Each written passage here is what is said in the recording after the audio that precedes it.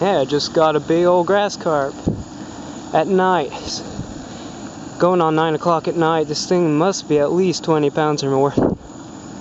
But, uh, caught him in the dark on white bread. The usual bait, 6 pound test. I gotta weigh him somehow and let him go before he dies. Alright, we gotta let this fish go. He is 23 pounds, 39 inches long. Just slide him right into here. Let this fish go. Alright, let's give him some water.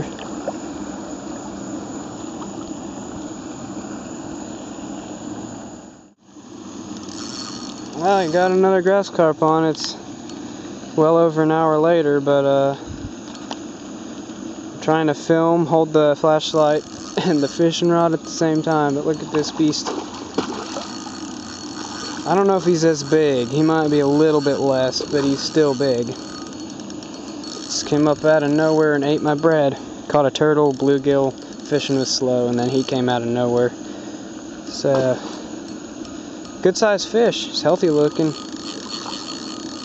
Well, I gotta turn the camera off. I know you can't see much anyway. It's, my flashlight's not that bright. But, um, I'll turn the camera off and turn it back on once I get this fish on the shore. Here's the fish. He might be a little bit smaller. Very nice looking fish. Gonna go take some measurements and get him back in the water. He's uh, 34 inches long and 19 inches around. He's probably up there close to 20 pounds. At least. He's probably at least 20 pounds. Maybe not as big as the other one. Let's get him in the water. There he is. Let him get revived a little bit.